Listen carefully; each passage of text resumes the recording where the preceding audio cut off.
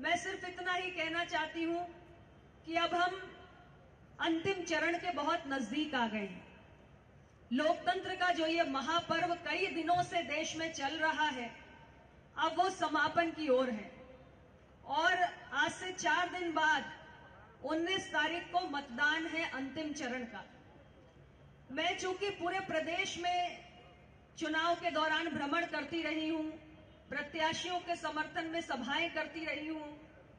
इसलिए मैं पूरे भरोसे और विश्वास के साथ आपसे ये बात कह रही हूँ कि आज पूरे प्रदेश और देश की जनता एनडीए गठबंधन के साथ मजबूती से खड़ी हुई है। और जितना अधिक हमारे विपक्षी दल और विपक्षी गठबंधन ईवीएम को कोस रहे हैं और चुनाव आयोग में जाके कोई ना कोई नया मुद्दा उठाकर शिकायतें कर रहे हैं। उससे इस बात का स्पष्ट संकेत मिलता है कि जनता ने एक बार फिर आदरणीय श्री नरेंद्र मोदी जी के नेतृत्व में सरकार बनाने का ठान लिया है। और 23 मई को जब नतीजे आएँगे तो पूरा देश ये देखेगा कि किस मजबूती के साथ एक बार फिर एनडीए गठबंधन की सरकार इस देश में बनेगी। और एनडीए सरकार को दोबारा अवसर मिले, ये देश की ज़रूरत है। क्योंकि इस सरकार ने देश की तरक्की के लिए, देश की प्रगति के लिए जिस तरीके से इन पाँच वर्षों ने समर्पण भाव से कार्य किया है, उस तरीके से आज़ादी के बाद सत्तर वर्षों में कभी कार्य नहीं हुआ। आज गाँव गाँव तक सरकार की तमाम योजनाएँ चाहे वो प्रधानमंत्री आवास योजना हो, चाहे वो स्वच्छ भारत मिशन के तहत निर्मित शौचालय हो, उज्ज्वला योजना के तहत बटने वाले गैस का कनेक्शन हो, आयुष्मान भारत के तहत मिलने वाला पाँच लाख रुपए का स्वास्थ्य बीमा हो, जनधन योजना के तहत खुलने वाले खाते हो, या फिर छह हज़ार रुपए की किसान सम्मान निधि हो। जितनी भी योजनाएँ हैं, उन्होंने किसान, नौजवान, महिलाएँ हर वर्ग को प्रभावित करने का काम किया है और ये सारी योजनाएँ आज हम प्रत्यक्ष रूप से गाँव गाँव में, देश के कोने कोने में देख सकते हैं। और सरकार के इन कार्यों की वजह से आज देश का 90 करोड़ मतदाता पूरी मजबूती के साथ इस गठबंधन के साथ खड़ा हुआ है। और जिस गति से ये योजनाएँ आज गाँव गाँव तक पहुँची हैं, उसके कारण ही आज विपक्षी दलों के अंदर एक बौखलाहट उत्पन्न हो गई है। क्योंकि उन्हें स्पष्ट समझ में आ रहा है कि 23 मई को आने वाले नतीजे उनके लिए सियासी संकट पैदा करने जा रहे हैं। और कई दल तो ऐसे होंगे जो शायद अस्तित्व में ही ना रह पाए 23 मई के नतीजों के बाद। और यही कारण है कि आज देश के तमाम राजनीतिक दल एकजुट होकर हमारे सरकार के मुखिया और हम सब के नेता आदरणीय प्रधानमंत्री श्री नरेंद्र मोदी जी की खिलाफत करने में लगे हुए हैं। और आज सिर्फ़ मोदी जी का विरोध ही उनकी सारी नीति और उनका सारा कार्यक्रम बन चुका है। आज उनके पास जनता के बीच जाकर कहने के लिए कोई विषय नहीं बचा है। वो देश को क्या देना चाहते हैं, जनता के लिए क्या करना चाहते हैं, आज कुछ भी उनके पास नहीं है सिवाय मोदी जी के विरोध के। और इसका कारण सिर्फ़ इतना है कि तीन सौ पैंसठ दिन में एक भी दिन हमारे प्रधानमंत्री श्री नरेंद्र मोदी जी ने अपने कार्य से अवकाश नहीं लिया, कभी छुट्टी पर नहीं गए। अगर दीपावली का त्योहार भी आया तो उन्होंने घर परिवार के साथ नहीं मनाया, बल्कि हमारी सेना के जवानों के साथ जिन भीषण परिस्थितियों में, गंभीर परिस्थितियों में हमारे जवान रहते हैं, उनके साथ जाकर दीपावली का त्योहार मनाने का काम किया। हमारे प्रधानमंत्री ने जब पहली बार लोकसभा में इस देश के लोकतंत्र के सबसे बड़े मंदिर में प्रवेश किया तो संसद की सीढ़ियों पर अपना शीश झुकाकर उसमें प्रवेश किया। लोकतंत्र के प्रति जो उनकी कटिबद्धता है, आज वो तमाम राजनीतिक दलों को रास नहीं आ रही है और वो यकीन नहीं कर पा रहे हैं कि देश में ऐसी भी सरकार चल सकती है जिसके पाँच सालों के कार्यकाल में न कोई घोटाला हो, न कोई भ्रष्टाचार हो। और शायद यही कारण है कि विपक्षी केमे में खलबली मची हुई है और सारे दल मिलकर ताकत लगा रहे हैं कि किसी तरह वो अपने अस्तित्व को बचा सके। लेकिन अब देश की जनता ने फैसला कर लिया है और मिर्जापुर में मैं आपके बीच अपना दल भारतीय जनता पार्टी और निषाद पार्टी की संयुक्त प्रत्याशी के बीच में एक बार फिर से आपके बीच में हूँ। 2014 की तरह। 2014 में तो मैं आपके लिए नई थी। ये जनपद भी मेरे लिए नया था। लेकिन इन पाँच वर्षों में आप लोगों ने मेरे कार्य को देखा है। जिस तरीके से मैंने संसद में अपने क्षेत्र की समस्याओं को उठाया है, उससे भी आप सभी लोग अवगत हैं और मेरे विकास कार्यों की एक लंबी फहरिस्त है, जिसकी मैं चर्चा अभी नहीं करूँगी क्योंकि समय कम है। मैं सिर्फ़ आपसे इतना ही कहना चाहती हूँ कि देश में एक मज़बूत सरकार बनाने के लिए दो सौ बहत्तर सांसदों की आवश्यकता है। और अड़तीस अड़तीस सीटों पे लड़ने वाले लोगों के पास कभी दो सौ बहत्तर सांसद नहीं हो सकते। अगर देश के तमाम राज्यों में जो राजनीतिक दल हैं, उनके साथ उन्होंने गठबंधन बनाया तो शायद देश के नसीब में एक खिचड़ी नेतृत्व आएगा, जिसमें हर दो तीन महीने में एक नए दल का मुखिया प्रधानमंत्री पद का शपथ लेता हुआ नज़र आएगा। तो देश को आज तय करना है कि उसे एक खिचड़ी नेतृत्व की ज़रूरत है या एक मज़बूत नेतृत्व की ज़रूरत है, एक ऐसे निर्णायक नेतृत्व की ज़रूरत है जो आतंकवाद जैसे गंभीर मसलों पर अपनी सीमाओं को तोड़कर, अपनी सेना को खुली छूट देकर आतंकवाद का करारा जवाब दे सके। और आज हमारी देश के अंदर जो सरकार है, उसने इस बात को साबित करके दिखाया है कि ये वो सरकार नहीं है जो आतंकवाद के किसी मसले पर चुप बैठने वाली है। चाहे ओरी के हमले के बाद हुई सर्जिकल स्ट्राइक हो, या पुलवामा के हमले के बाद जो हमारी सेना ने एयर स्ट्राइक किया, या आज जो एक कुछ दिन पहले एक बहुत बड़ा फैसला संयुक्त राष्ट्र सुरक्षा परिषद के माध्यम से अजहर मसूद को वैश्विक आतंकी घोषित किया गया हो, जो भारत की आतंकवाद के मसले पर एक बहुत बड़ी कूटनीतिक सफलता है, इन सारे मसलों पर अगर आप गौर करें तो आपको आतंकवाद के प्रति भारत की एक प्रतिबद्धता नज़र आएगी कि भारत की सरकार किसी भी कीमत पर आतंकवाद को नस्तोनाबूद करना चाहती है, देश से इसकी जड़ों को समाप्त करना चाहती है और आज एक मज़बूत सरकार देश की ज़रूरत है। इसलिए मैं आप सभी से यह आग्रह करूँगी कि जिस तरीके से 2014 में बनने वाली सरकार को सबसे ज़्यादा मजबूती देने का काम उत्तर प्रदेश की आवाम ने किया था उत्तर प्रदेश के मतदाताओं ने किया था और उसमें मिर्जापुर भी शामिल था। उसी प्रकार इस बार भी पूरा देश आपकी ओर देख रहा है। पूरा देश ये देखना चाहता है कि उत्तर प्रदेश की जनता क्या फैसला करती है। इसलिए कोई चूक नहीं होनी चाहिए। इस बार फिर आप लोगों को देश के अंदर एक मज़बूत सरकार बनाने के लिए अपना योगदान देना है।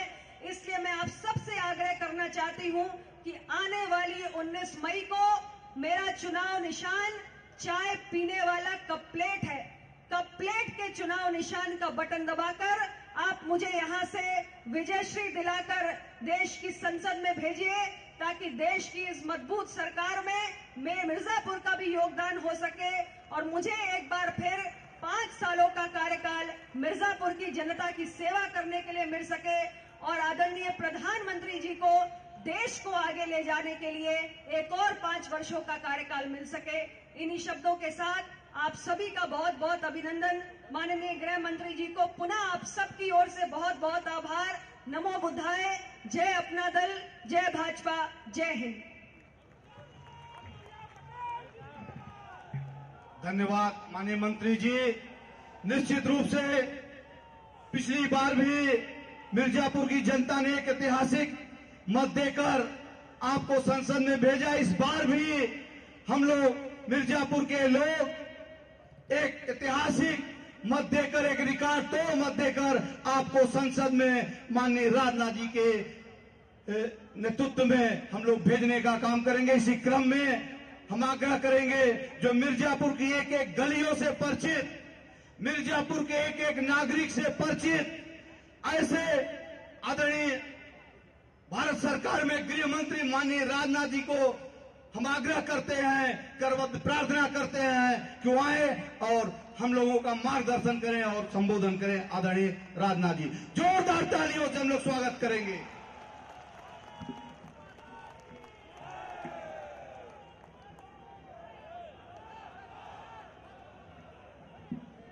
भारत सरकार की मंत्री,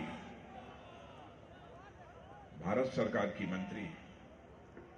और मिर्जापुर संसदीय निर्वाचन क्षेत्र की प्रत्याशी सुश्री अनुप्रिया जी पटेल, भारतीय जनता पार्टी के जिलाध्यक्ष श्री ब्रजभूषण सिंह, उत्तर प्रदेश के सरकार के मंत्री श्री भूपेंद्र सिंह, राज्यसभा सांसद श्री राम शकल जी, प्रदेश सरकार के मंत्री श्री अतुल गर्ग जी, प्रदेश उपाध्यक्ष डॉक्टर शिवनाथ जी यादव, यहाँ के विधायक श्री रत्नाकर जी मिश्र श्रीमती सुष्मिता मौर्य जी, विधायक मझवा डॉक्टर सीता शरण जी त्रिपाठी, श्री विंद्रा जी विश्वकर्मा और हमारे उत्तर प्रदेश सरकार के पूर्व मंत्री और यहाँ से विधायक भी रहे हैं और हमारे बड़े भाई हैं, ऐसे आदरणीय डॉक्टर सरजीत सिंह जी डंग, अध्यक्ष नगर पालिका श्री मनोज जी जायसवाल, श्री सुनील चंद जी श्री रमाकांत जी पटेल, श्री मनीराम जी कोल, उपाध्यक्ष, उत्तर प्रदेश अनुसूचित जनजाति आयोग, श्री रमाशंकर जी पटेल, विधायक मणिहान श्री राजन जी पटेल और श्री श्री राम जी भारती, पूर्व विधायक शानवे। इस सभा में मौजूद मेरे सभी सम्मानित बहनों एवं भाइयों, लंबे अरसे के बाद इस मैदान में किसी सार्वजनिक सभा को संबोधित करने के लिए आप सबके सामने खड़ा हूँ। अब बैठ जाओ। बैठ जाओ। बैठ जाओ। मुझे याद है, उन्नीस सौ सतहत्तर का वह समय था, जब हमारी आयु मुश्किल साढ़े पच्चीस साल और छब्बीस साल की थी। और इसी मैदान में चौधरी चरण सिंह जी की सार्वजनिक सभा हुई थी और उतनी कम आयु में मुझे यहाँ के लोगों ने तय किया था उस कार्यक्रम की अध्यक्षता करने के लिए। और जब चौधरी चरण सिंह जी उस समय आए थे तो अध्यक्ष होने के नाते चार से लेकर पाँच मिनट में मैंने उनका स्वागत किया था।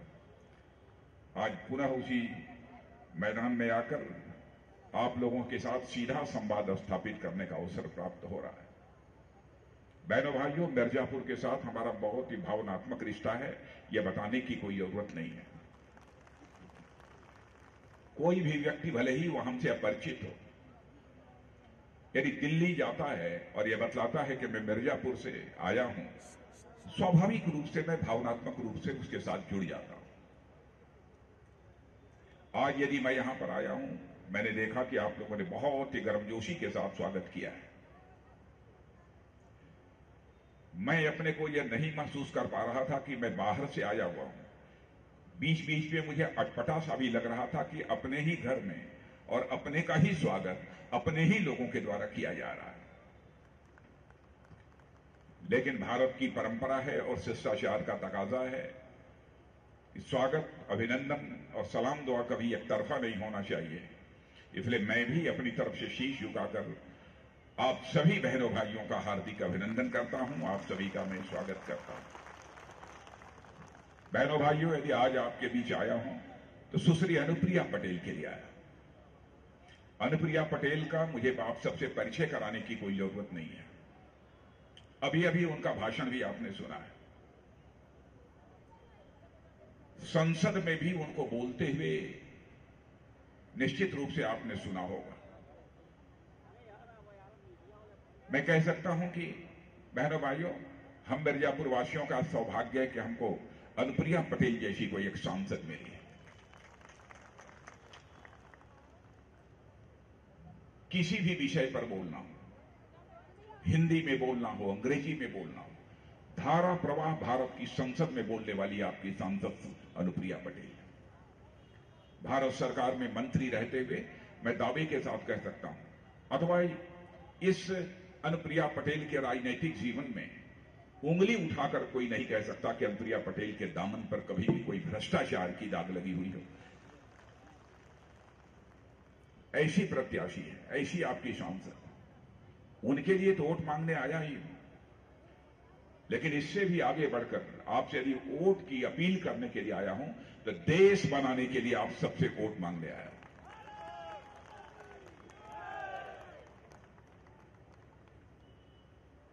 बहनों भाइयों 2014 में नरेंद्र भाई मोदी के नेतृत्व में एनडीए की सरकार बनी। पाँच वर्षों में हमारी सरकार ने क्या किया, क्या नहीं किया देश की जनता उससे अच्छी तरह वाकिफ है।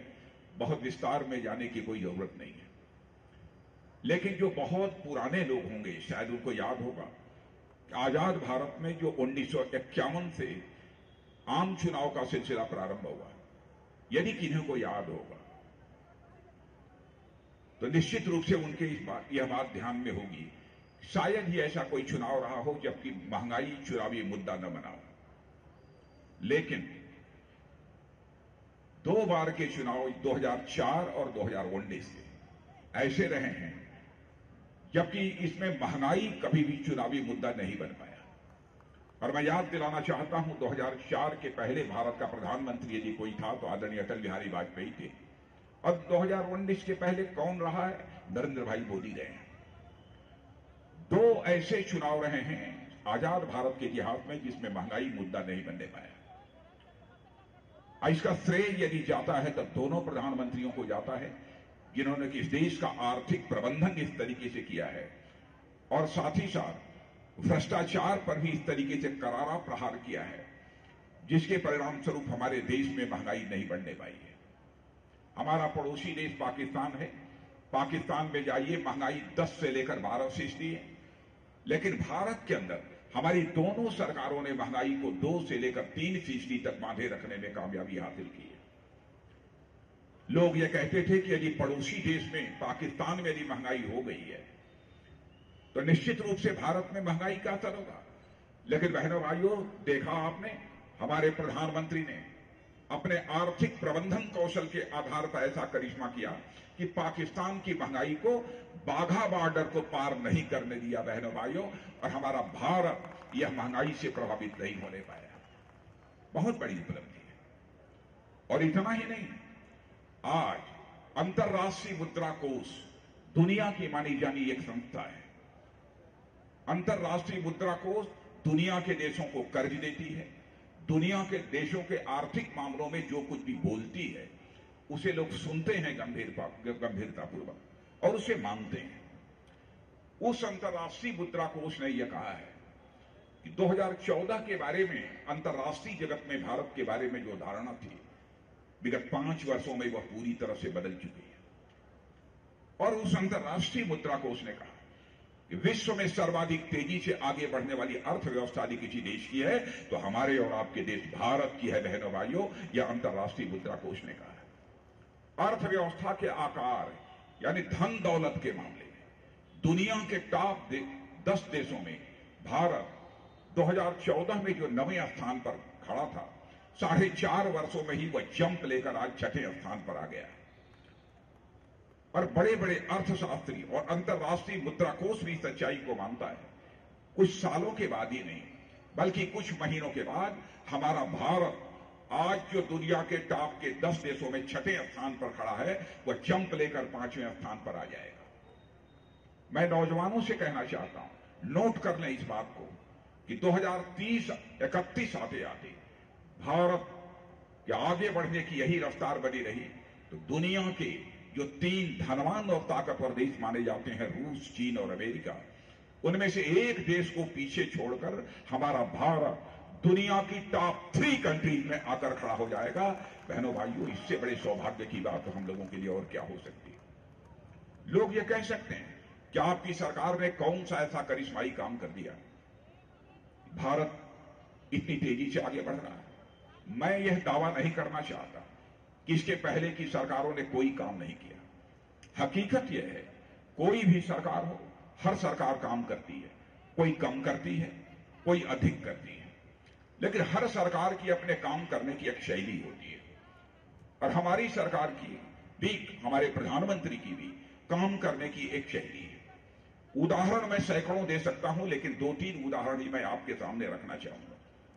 प्रधानमंत्री आवास योजना हम लोगों ने प्रारंभ नहीं की प्रधानमंत्री आवास योजना कांग्रेस ने प्रारंभ की। लेकिन 2008 से लेकर 2014 छह वर्षों में कांग्रेस की सरकार ने प्रधानमंत्री योजना आवास योजना के अंतर्गत 25 लाख आवास बनाकर लोगों को आवंटित किए थे। लेकिन हमारी सरकार ने 2014 से लेकर 2018 समाप्त होते होते चार वर्षों में ही एक करोड़ तीस लाख आवास बनाकर जो है देशवासियों को समर्पित किया है। गैस कनेक्शन का जहाँ तक सवाल है, मैं दावे के साथ कह सकता हूँ, यहाँ भी जो बहुत सारे लोग बैठे हैं, जिनके घरों में पहले गैस सिलेंडर नहीं रहा होगा उनको निश्चित रूप से उनमें से बहुत सारे लोगों को गैस सिलेंडर निश्चित रूप से मिला होगा। गैस कनेक्शन का जहाँ तक सवाल है। उन्नीस सौ सैंतालीस से लेकर 2014 तक 12 करोड़ गैस कनेक्शन हमारे देशवासियों को मिला। लेकिन चार वर्षों के अंदर हमने इस देश में 13 करोड़ गैस कनेक्शन देने में कामयाबी हासिल की। यह है हमारे काम करने की शैली। यह है हमारे काम करने का तरीका। इसलिए हमारा देश इतनी तेज़ी के साथ आवा आगे बढ़ रहा है। स्वच्छता के दायरे का जहाँ तक सवाल है उन्नीस से लेकर 2014 तक यहाँ स्वच्छता का दायरा केवल 40 फ़ीसदी था। हम लोगों ने चार साढ़े चार वर्षों में ही बढ़ाकर उसको 92 परसेंट तक ले, ले जाने में कामयाबी हासिल की। चौड़ी चौड़ी सड़कों के निर्माण का सिलसिला आदरणीय अटल बिहारी वाजपेयी जी ने प्रारंभ किया था। बहनों भाइयों मेरा सौभाग्य था कि उस समय भूतल परिवहन मंत्री सरफेस ट्रांसपोर्ट मिनिस्टर आदरणीय अटल जी की सरकार में मैं स्वयं था। उस समय जितनी रफ्तार से सड़कों का निर्माण हो रहा था, कांग्रेस की दस वर्षों के लिए जो सरकार आई, सड़कों के निर्माण की गति धीमी पड़ गई। लेकिन फिर से मोदी जी के नेतृत्व में जब सरकार आई, आपको जानकर आश्चर्य होगा कि बहनों, भाइयों, कांग्रेस के शासनकाल में प्रतिदिन छह किलोमीटर, आठ किलोमीटर, मैक्सिमम बारह किलोमीटर प्रतिदिन हाईवेज का निर्माण हुआ है। लेकिन नरेंद्र भाई मोदी की सरकार आने के बाद प्रतिदिन 28 से लेकर 32 किलोमीटर नेशनल हाईवे का निर्माण हो रहा है। यह हमारे काम करने की शैली। इस कारण हमारा यह देश तेज़ी के साथ आगे बढ़। और कोई दूसरा कारण नहीं है। भारत के बारे में सारी दुनिया की धारणा बदल गई है। अंतर्राष्ट्रीय जगत में हमारी प्रतिष्ठा बढ़ी है।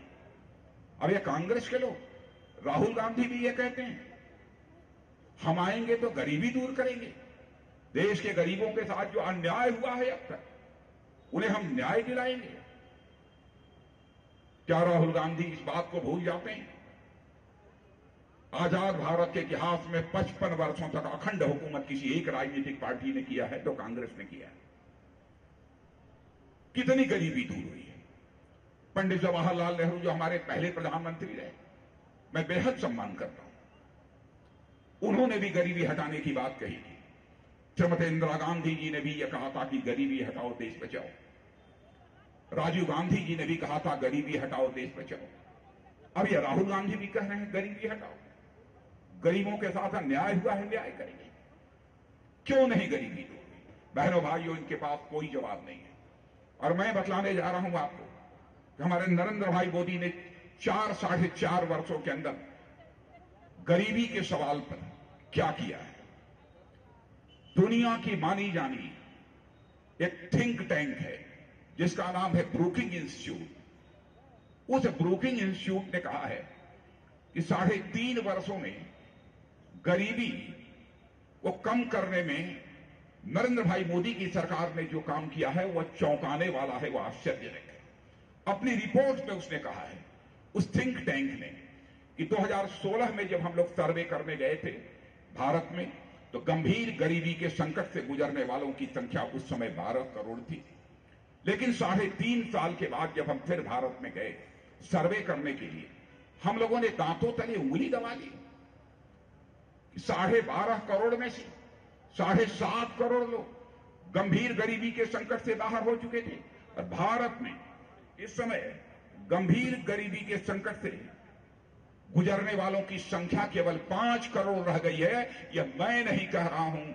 अमेरिका के एक माने जाने अंतर्राष्ट्रीय ख्याति प्राप्त थिंक टैंक ब्रुकिंग इंस्टीट्यूट ने कहा है। गरीबी कैसे दूर की जाती है? यह कला यदि किसी को सीखनी है। तो बहनों, भाइयों वो हम लोगों से सीखे अनावश्यक देश की जनता को गुमराह करते रहे। और आपने देखा, यह कह दिया उन्होंने, देशद्रोह का कानून हम समाप्त करेंगे। मैं आपसे पूछना चाहता हूँ, भारत को जो तोड़ने की कोशिश करता है अथवा भारत को कमज़ोर करने की कोशिश करता है, क्या उसे माफ़ किया जाना चाहिए?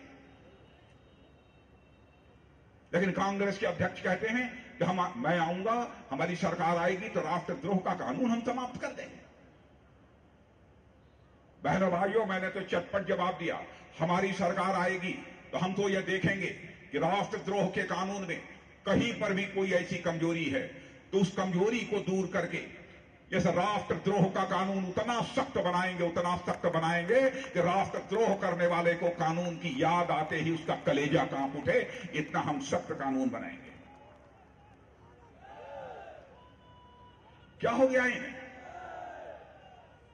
बहनों, भाइयों, यकीन रखना, आर्थिक दृष्टि से भी भारत ताकतवर हो रहा है भारतवर धनवान भी भारत बन रहा है, बलवान भी भारत बन रहा है, ताकतवर भारत भी बन रहा है। आपने देखा हाल में ही क्या हुआ है? पुलवामा में हमारे बयालीस सीआरपीएफ के जवानों को फिदाइन हमले में मार डाला। उसके बाद हमारे प्रधानमंत्री जी ने हम दो तीन लोगों के साथ बैठक करके चटपट फैसला किया। उसके बाद हमारे वायुसेना के जवान भारत की धरती से नहीं, बल्कि पाकिस्तान की धरती पर जाकर आतंकवादी का ठिकाना समाप्त करने में, धराशायी करने में कामयाब रहे। अब ये कांग्रेस के लोग और दूसरे पार्टी के लोग पूछते हैं कि अब बतलाइए कितने मारे गए? क्या हमारे एयरफोर्स के जवानों को आतंकवादी ठिकाने को समाप्त करने के बाद खड़े होकर वहाँ काउंट करना चाहिए था। कितने आतंकवादी मरे? वन टू थ्री फोर हमारे सेना के जवानों की शौर्य और पराक्रम पर यह सवालिया निशान लगा रहे बहनों भाइयों, मैंने तो कहा, जो बहादुर होता है, वह लाशें नहीं गिना करता। लाशें गिनने का काम गिद्ध किया करते हैं। बहादुर लाशें गिनने का काम नहीं किया करते।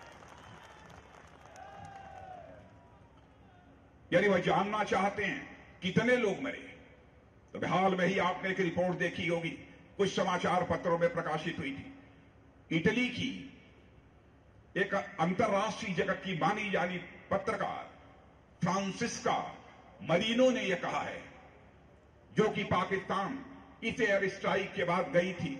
लोगों से बातचीत करने के बाद और सर्वेक्षण उस स्थान का भी करने के बाद, उस इलाके का भी करने के बाद उसने कहा है। इतनी बात तो मैं दावे के साथ कह सकती हूँ कि भारत की वायुसेना ने जो भी हमला किया है, जो एयर स्ट्राइक की है, उसमें कम से कम 170 आतंकवादी मारे गए हैं और पैंसठ आतंकवादी इस समय हॉस्पिटल में भर्ती हैं। उनमें भी 20 लोग दम तोड़ चुके हैं। लेकिन मैं देश का गृह मंत्री होने के नाते कहना चाहता हूँ, खुफिया विभाग हमारे अंतर्गत आता है। बहनों भाइयों, जो भी कार्रवाई पाकिस्तान में हुई वह बिल्कुल क्रेडिबल इंटेलिजेंस इनपुट पुख्ता खुफिया जानकारी के आधार पर हुई और मैं दावे के साथ कह सकता हूँ, भारत के इतिहास में आज तक आतंकवादियों के खिलाफ कभी इतना बड़ा ऑपरेशन नहीं हुआ है, और सारी दुनिया में भी आतंकवादियों के खिलाफ कभी इतना बड़ा ऑपरेशन नहीं हुआ लेकिन अनाप शनाप, राष्ट्रीय स्वाभिमान के सवाल पर भी राजनीति लोगों के द्वारा की जा रही है। और यह कहा जा रहा है यदि वाई वायुसेना के जवानों ने आतंकवादियों को मारा तो नरेंद्र भाई मोदी को इसका श्रेय क्यों मिलना चाहिए? मैंने तो तुरंत इसके बाद एक दूसरा सवाल दाग दिया। मैंने कहा कि जिस समय उन्नीस सौ इकहत्तर में श्रीमती इंदिरा गांधी ने पाकिस्तान को धूल चटाई थी और पाकिस्तान के दो टुकड़े कर दिए थे, पाकिस्तान बांग्लादेश बन गया था। हमारे नेता अटल बिहारी वाजपेयी ने प्रतिपक्ष में होते हुए भी भारत की संसद में खड़े होकर श्रीमती इंदिरा गांधी की भूरी भूरी प्रशंसा की थी। और यह काम वही कर सकता है जो कि राजनीति केवल सरकार बनाने के लिए नहीं करता है, बल्कि राजनीति देश बनाने के लिए करता है, वही नेता इस काम को कर सकता है। सारे देश में इंदिरा जी का जय जयकार हुआ था। तो मैं कांग्रेस के दोस्तों से पूछना चाहता हूँ यदि पाकिस्तान के दो टुकड़े करने के कारण श्रीमती इंदिरा गांधी का सारे देश में जय जयकार हो सकता है। तो पाकिस्तान को मुंहतोड़ जवाब देने के कारण हमारे प्रधानमंत्री मोदी का जय जयकार क्यों नहीं हो सकता? मैं इस सवाल का जवाब चाहता हूँ।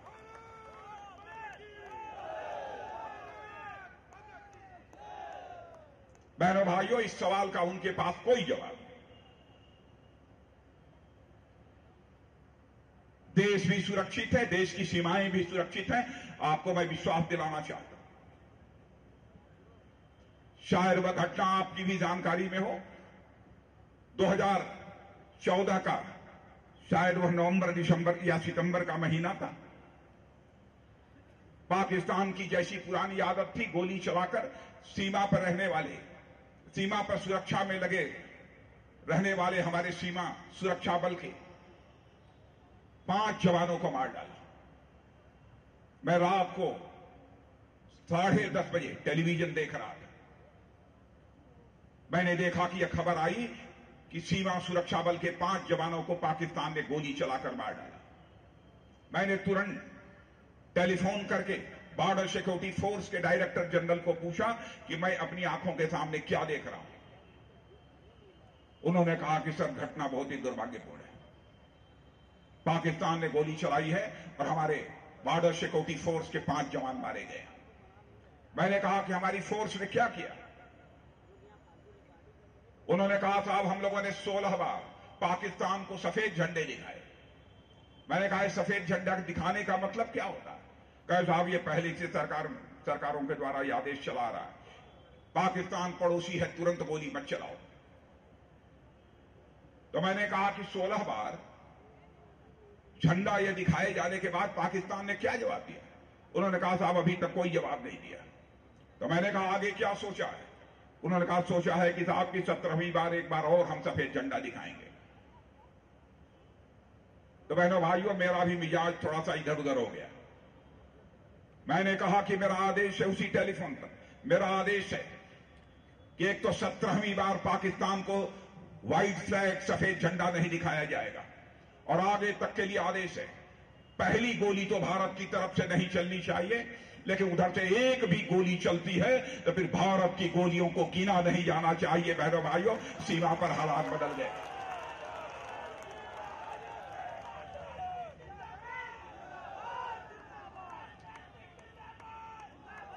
देश की आंतरिक सुरक्षा हो अथवा बाह्य सुरक्षा, उसके प्रति देशवासियों को आश्वस्त रहने की ज़रूरत है। हम अपनी ताकत को जल में भी बढ़ा रहे हैं, थल पर भी बढ़ा रहे हैं, नभ पर भी हम अपनी ताकत को बढ़ा रहे हैं। आपने देखा होगा हाल में ही हमारे डीआरडीओ इसरो के वैज्ञानिकों ने एक एंटी सेटेलाइट मिसाइल तैयार की है, जो दुनिया में केवल तीन देशों के पास है, रूस, चीन और अमेरिका। और किसी के पास नहीं है। 2007 में ही हमारे वैज्ञानिकों ने यह क्षमता हासिल कर ली। और बहनों भाइयों, उन्होंने उस समय के प्रधानमंत्री डॉक्टर मनमोहन सिंह जी से पूछा कि रूस चीन अमेरिका की तरह हम भी एंटी सेटेलाइट मिसाइल तैयार कर सकते हैं। हमको इजाज़त चाहिए। उन्होंने कहा, काहे को इस चक्कर में पड़ते हो? काहे को रूस चीन अमेरिका से पंगा लेते हो? वैज्ञानिक बैठ गए। लेकिन अटल बिहारी, जब हमारे नरेंद्र भाई मोदी भारत के प्रधानमंत्री बने तो यही वैज्ञानिक जब नरेंद्र भाई मोदी से मिले और कहा कि हमें इजाज़त चाहिए तो मोदी जी ने कहा, मेरे वैज्ञान को गो है, जाओ और एंटी सेटेलाइट मिसाइल तैयार करो. बहनों, भाइयों, शायद आपको इस बात की जानकारी न हो या एंटी सेटेलाइट मिसाइल क्या होती है सेटेलाइट क्या होती है। कभी कभी कुछ देशों के बीच एक सेटेलाइट एक मीटर, डेढ़ मीटर लंबी चौड़ी आकार की होती है, अर्थ ऑर्बिट में ऊपर वह चलती रहती है, दिखाई नहीं देती वहाँ से आने वाले जो सिग्नल्स होते हैं, उसी से नीचे बैठकर रेगुलेट किया जाता है और हवाई जहाजों का धड़ाधड़, दो चार दस, बीस, पच्चीस का आना जाना, ट्रेनों का चलना, इंटरनेट का चलना, मोबाइल का चलना, बहुत सारी गतिविधियाँ सैटेलाइट से आने वाले सिग्नल से ही होती दुनिया का कोई देश यदि किसी देश की सेटेलाइट को तोड़ दे तो कुछ समय के लिए उस देश की सारी व्यवस्थाएँ ठप पड़ जाएगी। और जैसा मैंने बतलाया केवल तीन देशों के पास वह ताकत थी। लेकिन अब वह ताकत हमारे पास भी हो गई और यानी दुनिया का कोई देश, यदि हमारी सेटेलाइट को तोड़ने के लिए अपनी एंटी सेटेलाइट मिसाइल छोड़ेगा तो बहनों भाइयों उसकी मिसाइल के लॉन्च करने के तीन मिनट के अंदर ही हमारी मिसाइल उसे आसमान में ही खंड खंड करके धराशायी कर देगी। भारत के अंदर वह शक्ति पैदा हो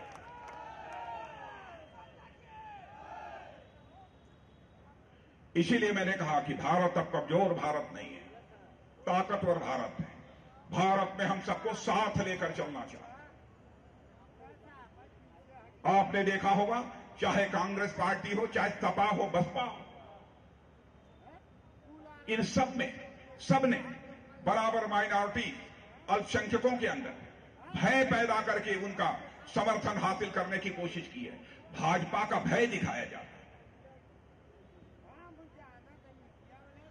बहनों, भाइयों, हमारे प्रधानमंत्री ने कहा है, हम सबको साथ लेकर चलना चाहते हैं, सबका साथ, सबका विकास।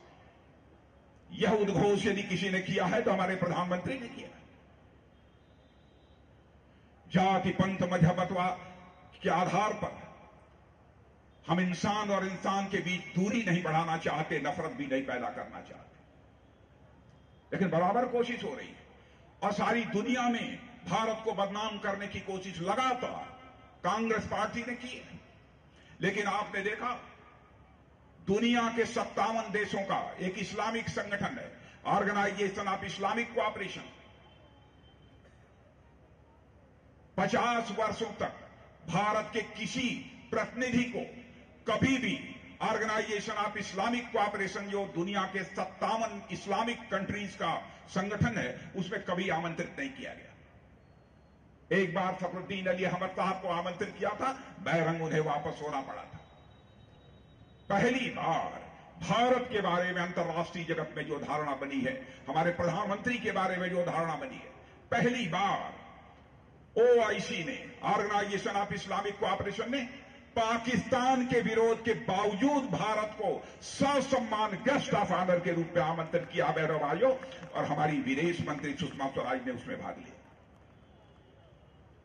यह भारत के बारे में अंतर्राष्ट्रीय जगत में धारणा बन चुकी है। बराबर अंदर भी, बाहर भी, भारतीय जनता पार्टी को बदनाम करने की लोगों के द्वारा कोशिश की जाती है। यह राजनीतिक पार्टियाँ सपा बसपा इन्हें भय है इस बात का। यदि हम अलग अलग लड़ेंगे तो मोदी की आधी में हम तिनके की तरह उड़ जाएँगे, इसलिए दोनों ने आपस में मिलकर यह गठबंधन किया। लेकिन बहनों, भाइयों, मैं बतलाना चाहता हूँ, इस गठबंधन का कोई असर नहीं दिख रहा है उत्तर प्रदेश में। और हम लोगों की कोशिश है कि पिछली बार हम लोगों ने तिहत्तर सीटों पर विजय प्राप्त की थी। हमारी सीटें बढ़ें, किसी भी सूरत में घटे ना, यही हम लोगों की कोशिश है। सारे राजनीतिक विश्लेषक भी इस सच्चाई को स्वीकार कर रहे हैं। फिर से यदि सरकार इस देश में किसी की बनने जा रही है तो नरेंद्र भाई मोदी के नेतृत्व में एनडीए की सरकार बनने जा रही है। इसलिए मैं आप लोगों से अपील करना चाहता हूँ कि बहनों भाइयों अनुप्रिया पटेल को भारी मतों से इस मिर्जापुर संसदीय निर्वाचन क्षेत्र से जिताकर भारत की संसद में भेजें। और जब इस बार मंत्री थी तो आप समझ लीजिए, अब अगली बार सरकार बनेगा तो ऐसे खाली हाथ नहीं वापस लौटेंगी। फिर से कुछ और ही ऊँचा होगा, नीचा नहीं होने वाला है।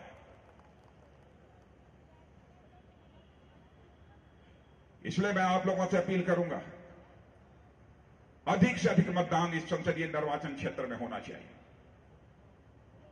आप निकलिए, लोगों तक जाइए, सीधा संवाद करिए। हम लोगों ने चुनावी घोषणा पत्र में कुछ बातें कही हैं। मैं व्यापारियों के संबंध में कहना चाहता हूँ। हम लोगों ने तय किया है कि हम व्यापारी कल्याण बोर्ड बनाएँगे, ताकि अधिकारी इधर उधर से बराबर व्यापारियों को परेशान करते रहते हैं। तो अपनी शिकायतों को लेकर व्यापारी कल्याण बोर्ड में जा सकें। और व्यापारी कल्याण बोर्ड उनकी समस्याओं का समाधान करे। हम लोगों ने यह भी फैसला किया है, चाहे लघु व सीमांत किसान हो, अथवा हमारा छोटा दुकानदार हो, साठ साल की उम्र के बाद उसे तीन हज़ार रुपया प्रति माह की पेंशन देंगे, यह भी हम लोगों ने तय किया है। किसानों के लिए भी बहुत सारे ऐसे ही महत्वपूर्ण निर्णय लिए हैं। किसान क्रेडिट कार्ड किसानों को मिलता रहा है। एक लाख रुपए तक का कर्ज हम लोगों ने तय किया है। पाँच वर्षों तक के लिए शून्य फ़ीसदी ब्याज दर पर मिलेगा। व्यापारियों को भी अब व्यापारी क्रेडिट कार्ड देने का फैसला हमारे प्रधानमंत्री ने किया। कई ऐसे महत्वपूर्ण हम लोगों ने निर्णय लिए। इसलिए मैं आप लोगों से अपील करना चाहता हूँ कि बहनों भाइयों, भारी मतों से जिताकर यहाँ भेजिए। आप लोगों के पास मोबाइल है जब मोबाइल उठा के जरा एक बार चलाइए आप लोग अपनी जगह से, सभी लोग, सभी जगह। रोशनी कीजिए, सभी जगह। जिनके पास है, सब लोग अपनी मोबाइल निकाल लीजिए। वाह, क्या अद्भुत दृश्य है। बहुत बढ़िया। बहुत बढ़िया। बोलिए, भारत माता की, भारत माता की। बहुत बहुत धन्यवाद बहुत बहुत धन्यवाद। अब हम आग्रह करेंगे अपने मिर्जापुर नगर के विधायक आदरणीय रत्नाकर मिश्रा जी से कि आज के इस सभा की समापन की घोषणा करेंगे और हम सबको आशीर्वाद देंगे कि इस लोकसभा में एक रिकॉर्ड तोड़ मतों से हम लोग माननीय अनुप्रिया जी को लोकसभा में भेजे। आदरणीय रत्नाकर मिश्रा जी। सर्वप्रथम माँ विंध्यवासिनी नमन करते हुए हम सबके नेता मिर्जापुर के हर व्यक्ति के दिलों में राज करने वाले पूरे भारत के दिलों के धड़कन ऐसे हमारे माननीय राजनाथ सिंह, आप मिर्जापुर का नाम रोशन किया, क्योंकि कृष्ण के बाद पहली बार अगर कोई शत्रु के वहाँ गया खड़ी खोटी सुनाया, उनका एक अन्न भी नहीं लिया, पाकिस्तान में उन्हीं के धरती पर जाकर उनको फटकार लगाकर और वहाँ से बिना पानी के बिना अन्न के पुनः चले आए, ऐसे मेरे माननीय राजनाथ सिंह पूरे भारत देश का नाम रोशन करने वाले हम उनको आभार व्यक्त करते हैं कि आकर अपना कीमती समय जो हम लोगों को लीजिए इसके लिए हम बहुत बहुत आभारी हैं। हमारी सांसद माननीय अनुप्रिया पटेल जी और सम्मानित मंच, मैं सभी का आभार व्यक्त करते हैं। हमारे बहनों एवं भाइयों, पत्रकार बंद और हमारे जो कल से एक तरह से एक बजे हम लोगों को समझ मिला, सभी कार्यक्रम